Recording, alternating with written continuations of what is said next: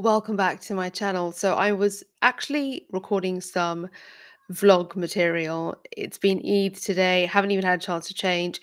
Was just spending with the family, was reflecting on how am I going to vote, and I thought let's just quickly record some of this for this channel, especially considering I initiated quite a controversial conversation around the dinner table. Of course, you should. That's the whole point of uh, uh, politics and and improving our media literacy. We absolutely must have those tough conversations around the dinner table and encourage our kids to do the same so that we can improve our critical thinking as well. So, as I have been reflecting on this and uh, ah, man, how do I say this? W- what you want, and I'm speaking to everyone because mostly everyone is fed up, right, with the way things are, with the status quo. Um, what you want is not going to get achieved from this election um, because politicians are doing what they do, especially this election. We are seeing a lot of slogans, a lot of propaganda. It's all very footballish. Um, and people's actual pain points, the experience that they're having that's not positive, being used, right? It's being used um, to uh, campaign and get votes.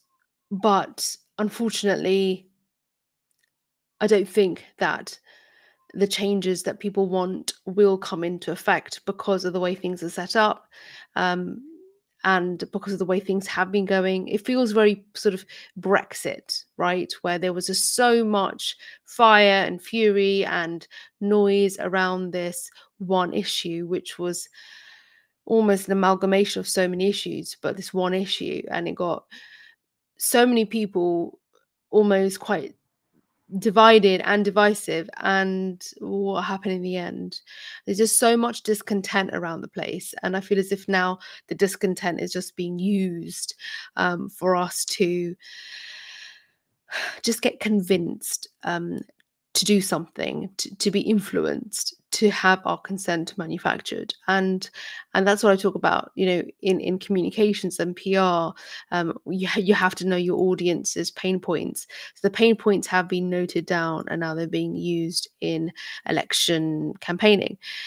I have had really useful um, back and forth conversations in the comment sections with all kinds of uh, political views. Um, and you know, lately with me streaming about immigration and streaming about sort of reacting to reactions on the sort of party political debates. Um, I've had some interesting views come through comments. I will entertain them because why wouldn't you? And uh, just learning about what matters to people. And I think the things that matter to people, you know, for inequality to change, for there to be more employment, educational opportunities, um, you're going to have to take a long view. I think all of us are going to have to take a longer view and a long term view. I don't think the options that we have right now are up to par. And I think that perhaps we need to take a longer view to hopefully also get more eggs, eggs, ducks, eggs too, ducks in a row um, for us to get more of a change, the change that we want longer term. Because I think the options we have now aren't going to cut it. My cynical side, which is mostly the side that gets uh, the view here, is that a new government's going to get formed and nothing's going to change and people are still going to be complaining about the same stuff come Christmas. So I think rather than expecting that you know these political parties to fix things in the way that you want them to fix them whoever you feel is going to get your vote. I think you've got to take a longer view and we've got to look at who and what are committed to real change and who has a bigger vision that doesn't seem to be just fully focused on a moment in time. Because we know elections can be won over single issues and it just feels like there's political parties who are talking about one issue and then there's slogans to do with um, the bigger picture, but the big picture is never fully broken down, and we're never seeing what the steps will be and what the trajectory should be. So I think it's important that we get behind um, perhaps independent candidates, um, perhaps we get behind. Um, I mean, if you don't have an independent candidate, then what do you do? Uh, tactical voting, um, or just see it as okay, I'm going to waste my vote this time, or I'm going to vote for them, although I don't want you know them in there either, but the lesser evil. Just do what you have to do this time round, but start to take a longer view. And the longer view absolutely must also include how are you going to get more involved?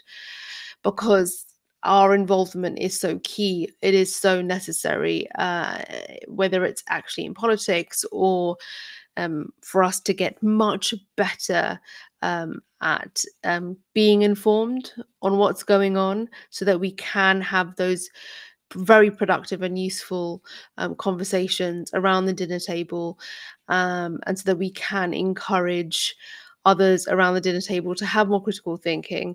I think also this is a really big one is we need to get our younger voters who are so involved right now not to get completely dis sort of discontent and disengaged from the whole thing. I think we need to sort of manage their expectations and also encourage them to take a longer view. Maybe they're better at it than we are. Maybe they are. I I'm just thinking about, you know, the next four plus years of perhaps my teenagers, um, last years in secondary school, and then what will A levels and university look like?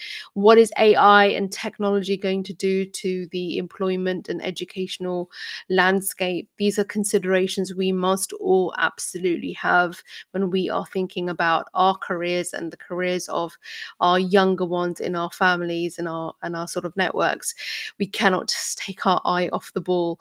We've got to look at things not just now nationally but internationally.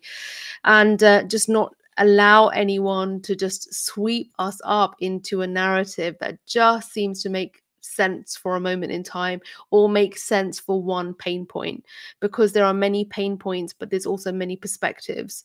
So we've got to take it all in, zoom out. And, you know, that's what I do as a systems thinker, as somebody who has worked in PR and comms and the media for quite a long time 20 years. I do like to take that step back. And um, it's necessary. I mean, if we don't take that step back, then what's going to happen? We'll just end up getting more and more. Whew, what's the word? I can't, I've got to think of a polite word in case there's young people watching. Um, but yeah, we just don't want to get uh, conned. Um, but if you could think of a better word that wasn't so sort of like polite, then yeah, put it in the comments. Um, I think this is just going to be enough um, because, as I said, I was just getting back to business almost. It's Sunday night, Eid with the families, pretty much. Uh, yeah, let's just do what we can within this much time and then it's a school night so we've got to get the kids ready and us ready for work and if it was a weekday it's likely that we wouldn't have taken a day day off um, because I don't know, just didn't just didn't grow up that way. Just didn't take a day off.